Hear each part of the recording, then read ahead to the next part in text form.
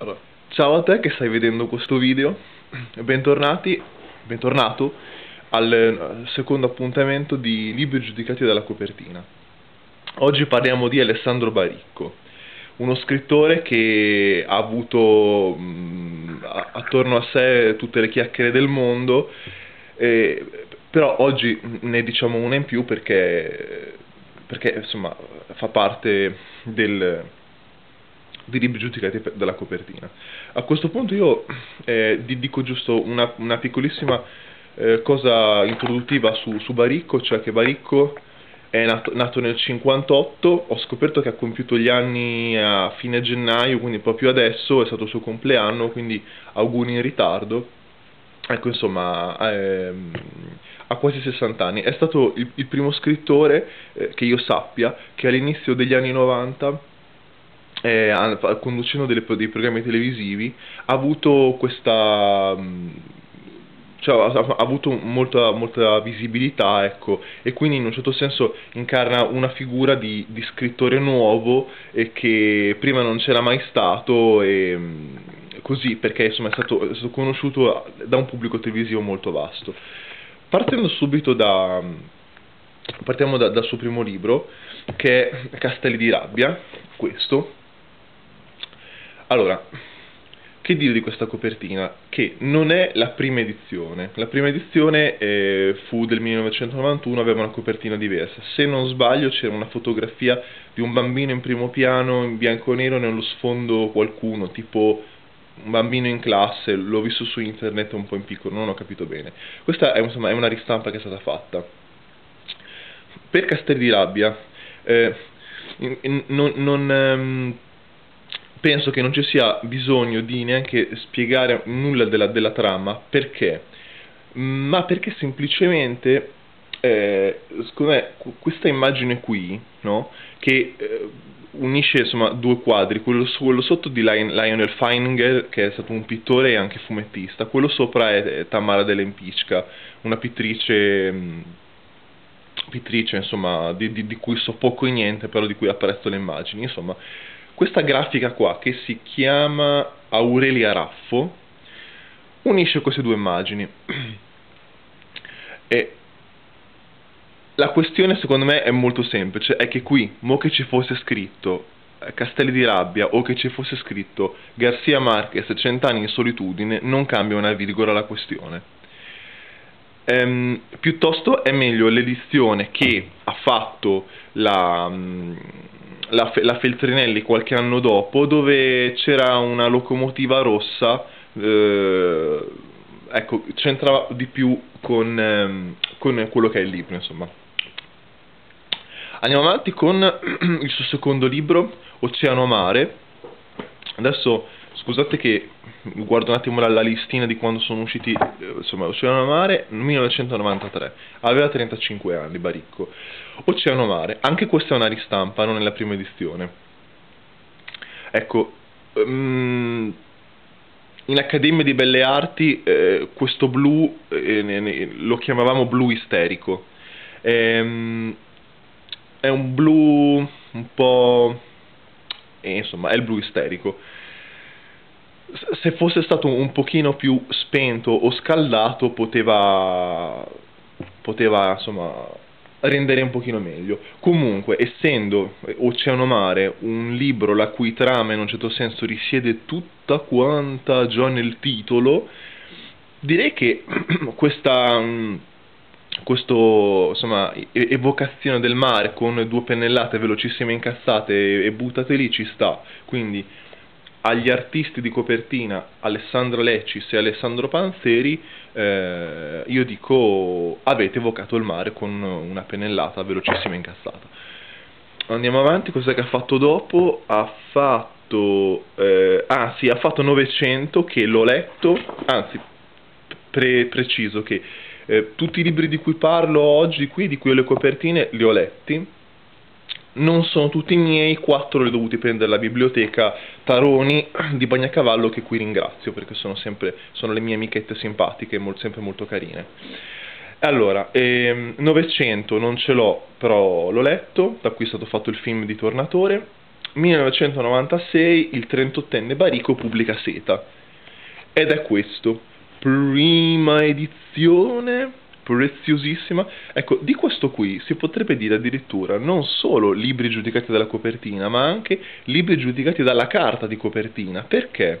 Qui la Rizzoli ha fatto un'operazione mm, che, mi, che mi intrippa.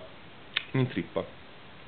Cioè, ehm, ha usato una carta per la, sovra, per la sovracopertina che è ehm, piacevole da toccare, eh, né ruvida né troppo liscia, sembra unta, ehm, ha, ha qualche cosa veramente di, di, di bello, cioè al tatto eh, evoca l'Oriente, lo stesso Oriente, per, per, per la precisione il Giappone, ehm, che fa da sfondo a questa storia che parla di un, un ragazzo di, di, 32 anni che di lavoro commercia bacchi da seta in questo suo viaggio eh, di lavoro va, eh, si incontra una ragazza giapponese eh, che grazie ai cartoni animati manga tutti quanti noi trentenni, trentenni quarantenni ne sappiamo apprezzare il fascino Insomma, beh, c'è una storia con questa tipa qua, ecco. Secondo me questa copertina è soltanto bellissima. Cioè, l'ideogramma eh, fatto da mm, Toba Chiba, non so chi sia, però mm, ci sta. Ci sta. Ah, ecco. Ho sentito, eh, ho sentito, raccontare da Baricco questa cosa qui, che dopo che ha fatto Seta, che fu un libro di grande successo economico, ehm, tutti quanti gli editori gli dicevano faccio un altro libro tipo Seta, insomma tutti quanti rivolevano, rivolevano Seta, e lui insomma era, era molto pressato da questa cosa qui, a un certo punto ne è uscito fuori con questa cosa, con un libro diversissimo da Seta perché Seta ha quattro personaggi in croce questo qua ne ha tipo 15, 20, non mi ricordo quanto, giocando semplicemente sul, ehm, sul titolo, giocando, cioè quindi non più, non più Seta ma City, in inglese, City, città. Ecco, questo, questo in realtà è, stata, è stato il primo libro che io ho, ho avuto fisicamente in mano di Baricco nel, nel 2013 avevo già 29 anni suonati una sera ero con, ero, ero con, degli amici ad un centro sociale dove andavo, dove andavo, raramente e malvolentieri. Comunque mi sono fatto accompagnare, accompagnare in questo posto. C'era una, una, una, libreria dentro, libreria di libri che si potevano prendere gratis e io così un po' per scherzo, per scherzo ho preso questo qui gratis ho detto vabbè tanto è gratis. Ehm, ero anche Mm, un pochino sfrucugliato da questa copertina che in questo momento mi sembrava eh, improponibile. Dopo, dopo alla fine eh, spiegherò per, perché ehm, fino a 29 anni non avevo mai letto Baricco, eccetera. Comunque, City è un libro ehm, molto composito, diciamo come un mosaico, uh, diciamo ci sono due piani, cioè un, un, piano, un piano, del reale dove c'è un, un, ragazzino che si chiama Gold, molto dotato di testa e ha una badante, cioè sì, una, una badante, insomma una, ragazza giovane che lo vada, insomma ci sono i loro dialoghi, il loro rapporto, poi ad un certo punto ci sono delle storie parallele c'è una storia di pugilato e c'è una storia western. Dopo un po' cominci a capire, so, se non ho capito male io leggendolo, ma mi sembra così, cominci a capire che la storia eh, di pugilato se la immagina lui, il ragazzino, e la, e la, storia di western se la immagina lei. Quindi, quindi sono due persone che hanno un'attività psicologica molto forte e, e così. Ecco, eh, questa copertina che non è che mi fa impazzire, eh? ecco, per carità, però... Nel suo essere un pochettino illustrativa, vediamo chi è che l'ha fatta, eh, Marco Scuto, ecco, Marco Scuto in questa copertina un pochino illustrativa è riuscito a beccare, vabbè, eh, c'è, qui c'è una scatola con dei guantoni da box, eh, qui c'è, mm, c'era qualcos'altro, non mi ricordo, c'è una foto di Walt Disney, vabbè, ci sono, ci sono dei riferimenti al libro, insomma, la Feltrinelli lo stesso libro lo ristampa qualche anno dopo, ecco, e secondo me qui Vabbè, vabbè sì, ok, mi vuoi dare l'idea con quattro finestrine, ma questa copertina è triste. Cioè, City è un libro che gioca col linguaggio, è un libro che gioca con, con, gli, sti, con gli, stili, insomma... Ehm... Vabbè, insomma, secondo me sono state fatte copertine migliori. Dopo, dopo di quello eh, è uscito questo Senza Sangue, romanzino corto di 100 pagine praticamente. Ecco, di, di, di questo Barico all'inizio dice una cosa, dice i fatti e i personaggi raccontati in questa storia sono immaginari e non fanno riferimento ad alcuna realtà particolare. La scelta frequente di nomi ispanici è un fatto puramente musicale e non deve suggerire una collocazione temporale o geografica alla vicenda. Ok, quindi Barico ti dice non voglio, non voglio dargli connotati a questa storia qui, ok?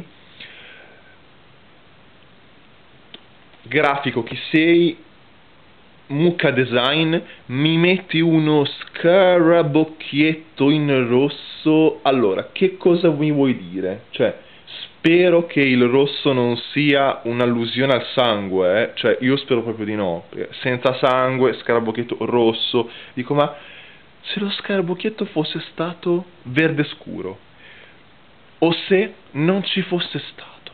Quanto poteva essere bellissimo. Vabbè, se l'è giocata così. Poi Baricco ha fatto, adesso oh, oh, mi sono dimenticato di dire le date, non so se per qualcuno di voi erano importanti, 2004 2004 Baricco ha fatto questa, una riscrittura della, della, della Iliade di Omero. Ecco, qui la copertina è di Toccafondo, ricordiamoci sempre di lui per la pubblicità della Sambuca Molinari eh, degli anni 90. Forse siete troppo giovani e non l'avete vista, comunque Toccafondo. Eh, gran copertinista che ne, insomma, ne ha fatte molte.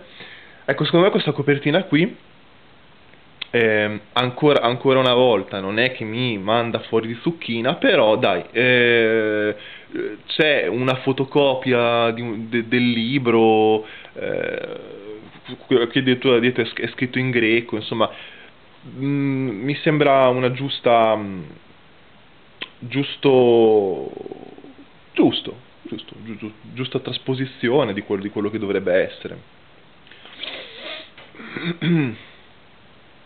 Eh, Barico ha eh, riscritto l'Iliade tagliando molte cose e con un linguaggio giovane, pieno di pulsioni, frizzante, eccetera. Eh, ottima, ottima operazione. Dopo di quello che c'è stato... Ah, ecco, ecco, mi, eh, mi dispiace di non averlo, eh, però insomma ehm, un libro che ha fatto dopo, uscito nel 2005, per le edizioni Fandango Libri, il romanzo si chiama Questa storia ed è una storia che ruota attorno all'automobilismo, alle corse delle macchine. Per quell'occasione lì Baricco ha chiesto a Toccafondo, sempre questo copertinista qui, illustratore, pittore, ha chiesto a Toccafondo di fargli quattro copertine diverse che uscirono contemporaneamente, quindi tu potevi potenzialmente collezionarti quattro copie dello stesso libro con quattro copertine diverse ma ahimè non ne ho nemmeno una. Però l'idea è carina. Ecco, 2009 e Mouse. Per Emmaus, che è una storia eh, perché, perché, Barico ha sempre fatto storie di pura invenzione che diciamo all'apparenza non c'entravano una cippa con quella che era la sua vita vissuta. Per Emmaus fa uno strappo alla regola e racconta una storia della sua adolescenza, ma eh, mi limito a dire che la prima edizione Feltrinelli aveva una copertina finalmente totalmente bianca, è stata rifatta da eh, illustrazione Ale più Ale, vabbè, e come vedete non è totalmente bianco, c'è un, sen- un senso di, di, ciosso, cioè di sporco, di una superficie ruvida, vabbè, poteva anche rimanere bianca. Uh, per Emmaus, insomma, che era il libro della sua adolescenza, posso dire posso fare una, una piccola parentesi della mia adolescenza di quando avevo 17 anni e eh, in, in, fatto di letteratura ero molto arrogantello insomma, avevo conosciuto in chat una, una ragazzina che eh, si firmava Nembi. Dopo l'ho conosciuta di persona, siamo diventati amici e abbiamo fatto lo stesso liceo artistico. Ecco, eh, questa Nembi mi consigliava di, di leggere Baricco e io avevo questo pregiudizio a 17 anni che era eh, Baricco no, non va letto perché è quello che adesso, che adesso, vende di più sul momento, quindi per forza di cose scrive cazzate, lascia perdere Baricco, dicevo Nembi, lascia perdere Baricco, prima c'è, eh, c'è Bukowski, prima c'è John Fante, prima c'è Carver, prima c'è John... Cioè, ma, insomma, gli facevo tutta una, una lista di, di scrittori, cioè, prima c'è Jack Frusciante uscito dal gruppo, no? eccetera. Passano gli anni, mi levo di dosso sti 17 anni della minchia, cresco, appunto quando ne ho 29 trovo questo qua al, al, al quel centro, centro sociale dove andavo sempre malvolentieri e quasi mai, lo, lo prendo, un annetto dopo, un giorno ero in casa, non sapevo che cacchio fare, ho, ho, provato a leggerlo proprio senza dargli un centesimo, mi è piaciuto, mi è piaciuto, mi sono gasato, me lo sono letto in due pomeriggi, ho scritto in chat a Nembi, ho detto Nembi, sono passati eh, 13 anni ma finalmente mi sono letto Siti di Baricco, eh, soltanto bellissimo. E lei mi fa, bene, mi fa piacere, Baricco non mi piace più, ora leggo Harry De Luca.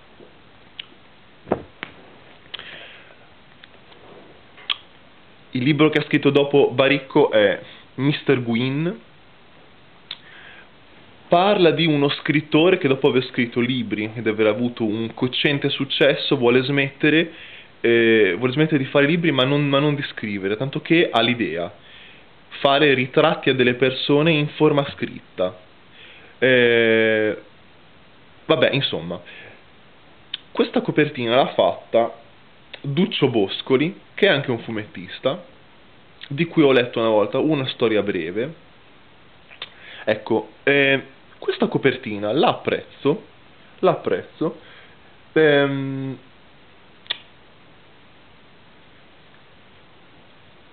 e insomma eh, mi ha fatto pensare a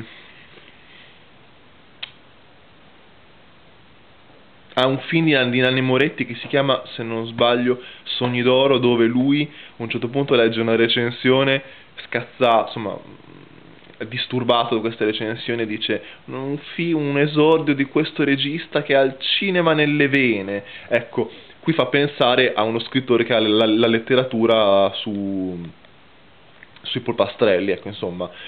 Ma questa immagine non ci fa forse anche pensare a una, una, una, citazione di Giuseppe Penone, che è un artista concettuale, per cui insomma, Giuseppe Penone ha detto, ehm, ha detto respirare è scultura e, su, e nell'impronta digitale no scusa, respirare è scultura e l'impronta digitale è un'immagine pittorica. È vero, è vero.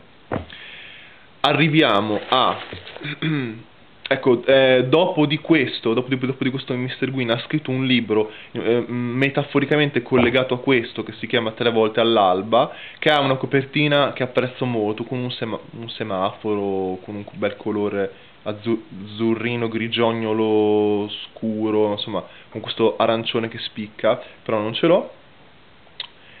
Ecco, arriviamo al libro che è uscito proprio un paio d'anni fa, La sposa giovane, Ecco, io qui ho proprio una cosa che mi, ogni volta mi salta, mi salta all'occhio e dico, ma se invece che tenere Alessandro Baricco e la sposa giovane sulla stessa linea l'avessimo avuto più banalmente, su due linee diverse, non era meglio?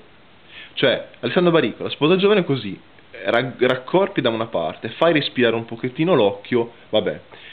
Qual è il discorso? Il discorso è che qui c'è un disegno che va sul fronte e sul retro ehm, l'ha fatto uno che si chiama Tanino Liberatore, che è un gran disegnatore, è un fumettista, Tanino Liberatore. Tanino Liberatore qui, secondo me, ehm, diciamo, disegna a volume basso proprio, cioè come se avesse in mano una Ferrari, la Ferrari è se stesso e se si portando avanti questa Ferrari ai 2 km all'ora. Però vabbè, dice, non è importante sempre fare uno sfoggio di, eh, di bravura eh, quando, quando disegni, sì, non è sempre importante, però qui qual è il punto? Il punto è che Tanino Liberatore, per come l'ho conosciuto io e la maggior parte delle persone, Tanino Liberatore era è stato l'autore di questo Rank Xerox, fumetto di culto, di culto degli anni 80. Cioè, per darvi un'idea, giusto un attimo così, cioè, liberatore è questo, liberatore è eh, colori usati in, in modo allucinante, è, è liberatore, ma liberatore è, è, è, sporchino, è ciosso, è bisunto, è, mm, è grezzo, è, l'underground fighetto, non, non, cioè, adesso non so se riesco a rendere bene, se l'immagine rende, comunque questo è liberatore, non so come lo sto inquadrando.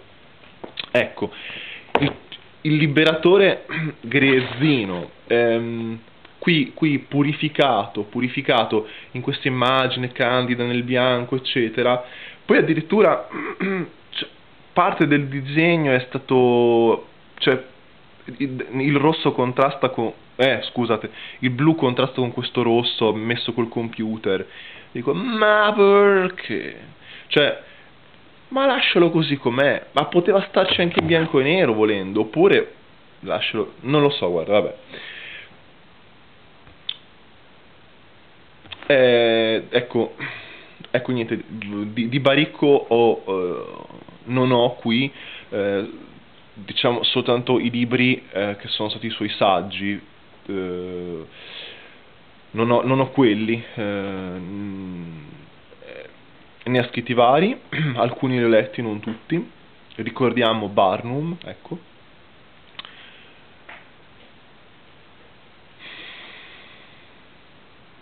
Basta, penso che, penso che sia tutto. Eh, basta, basta. Eh, Baricco è uno scrittore che, che consiglio se boh, potreste proprio cominciare da, da City. Sì, il, primo, il primo che ho letto io, mi sembra proprio il libro più che dentro, contiene dentro di sé vari generi, eh, appunto western, pugilato, mh, mm, critica alla nostra società mo moderna, mh, mm, ironia, ironia, citazionismo, cose imprevedibili, vi, vi farei cominciare da City. Perché, perché insomma, siamo al secondo appuntamento di libri giudicati dalla copertina e siamo a Baricco? Perché quello che vorrei fare è portare la rubrica proprio partendo dagli scrittori di cui si è già straparlato e gli scrittori che, che non avrebbero bisogno di, di, una, dell'ennesima rubrica che de, si dedicasse a loro, perché questa appunto è una rubrica peluche, quindi eh, parte, voglio proprio partire dal superfluo, per poi scusate, per poi arrivare a non so cosa. Eh, si vedrà. Quindi gra eh, grazie per eh, il tempo che abbiamo, che abbiamo trascorso insieme, sfalsato perché io l'ho fatto adesso, voi lo vedrete chissà quando, comunque grazie ancora e a presto per, per queste, queste chiacchierine. Ciao.